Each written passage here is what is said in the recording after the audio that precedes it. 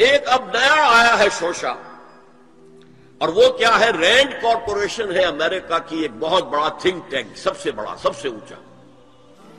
इसकी सिफारिशात जो है, वो महकमे दिफा को जाती है, खारजा महकमे को जाती है, और इन थिंक टैंक्स के मशवरों पर और तजावीज पर लोग अमल करते हैं। हुकूमत जो है, उनको गौर से देखती है, अमल करती है।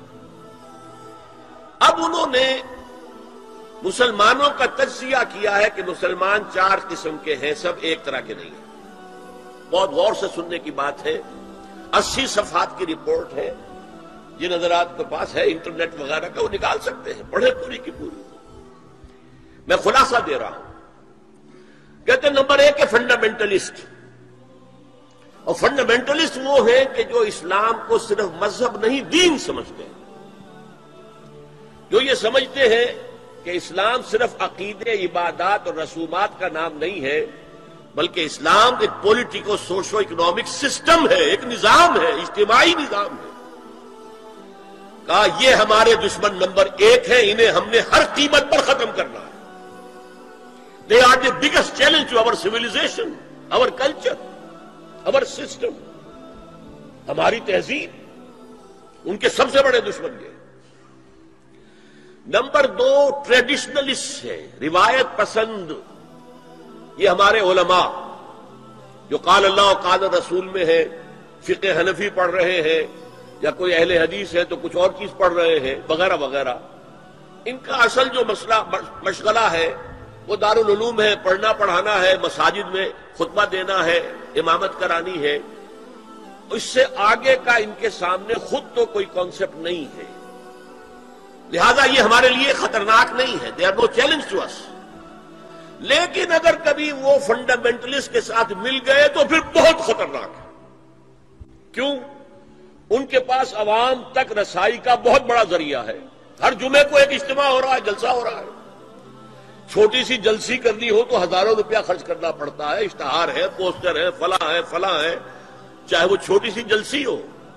और यहाँ लोग चले आ रहे हैं, नहा धोकर कपड़े बदलकर अच्छे इतर भी लगाकर आ रहे हैं, कच्चे धागे से बंधे हुए तो इनके पास तो बड़ा ज़रिया है।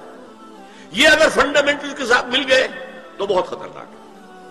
लिहाजा इनके लिए तो यह है कि अव्वलन तो इनको एक दूसरे से दूर रखो। और जो ट्रेडिशनलिस्ट हैं, उन्हें अपने बाहमी जो मसल की इख्तलाफात हैं फिर वाराना इख्तलाफात हैं, उनके अंदर बिज़ी रखो। शोशे छोड़ते रहो, ताकि वो उसी बहस के अंदर मुनाजरेबाजी में लगे रहे। तीसरे उन्होंने कहा, मॉडर्निस्ट है। ये वो लोग हैं कि जो इस्लाम की एक ताबीर जदीद कर रहे हैं और उसे हमारी तहजीब के साथ हम आहंग कंपेटिबल बना रहे हैं। इनकी मदद करो, इन्हें सपोर्ट करो, इन्हें पैसा दो और इनके लिए खास तौर पर प्रिंट और इलेक्ट्रॉनिक मीडिया में इनकी अपीयरेंस का बंदोबस्त करो। इसलिए इनके पास कोई और ज़रिया तो है नहीं। इनमें से किसी को कोई मस्जिद में खतीब बनाकर तो नहीं खड़ा करेगा, बल्कि दाखिल भी ना हो सके शायद वहाँ। तो इनके लिए ज़रिया चाहिए ताकि आवाम तक पहुँचे। आज का सबसे बड़े ज़रिया टेलीविज़न है। लाओ इन्हें उस पर। और अंग्रेज़ी प्रेस हमारा खास तौर पर जो है इनका आलाकार है।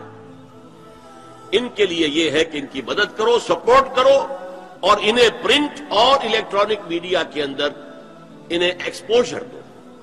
चौथा कहते हैं, वो है सिक्युलरिस्ट पहले ही से हमारे हैं, हमारी जेब में है।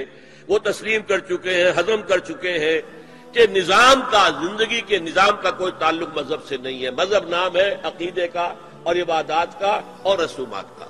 तो ये तो हमारे ही है तो गोया के दो जमा, दो तकसीम हो गई। दो को सपोर्ट करो, मदद दो। और दो को सप्रेस करो। और इन दोनों को एक दूसरे से दूर रखो। और जो ट्रेडिशनलिस्ट है, रिवायत पसंद, उन्हें उनके इख्तलाफात में उलझाए रखो। ये है पॉलिसी जिसके तहत आज ऐसी ऐसी बातें आपको अपने इलेक्ट्रॉनिक मीडिया से टेलीविज़न से सुनने में आ रही हैं और बड़े बड़े दानिश्वर हैं जो कह रहे हैं, शराब इस्लाम में हराम नहीं है। शराब पीकर धुत हो जाना, बिल्कुल मदहोश हो जाना हराम है। आपको मालूम है कि वहाँ भी कहा जाता है ड्रंकर्स ड्रंकर्स वहाँ भी पसंद नहीं किए जाते। इतने पीने वाले के होश खो दे मगरिब में भी पसंदीदा नहीं। लेकिन वो कहते हैं कि असलन शराब हराम नहीं है इस्लाम। और आपको मालूम है, मैं नाम नहीं लेना चाहता। ये हमारी बदकिस्मती है। कि अल्लामा इकबाल के फर्जंद हैं जिन्होंने ये बात कही फिर उन्हीं के एक और हम नाम है, उन्होंने शोषा छोड़ा। इस्लाम में पर्दा वर्दा नहीं है, कुरान में पर्दा नहीं है।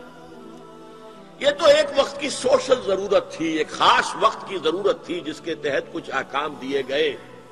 वरना ये कोई मुस्तकिल अहकाम नहीं है। दीन की बात फैलाना सदक़ जारिया है। सवाब की नीयत से वीडियो को शेयर ज़रूर कीजिए। जजाकल्ला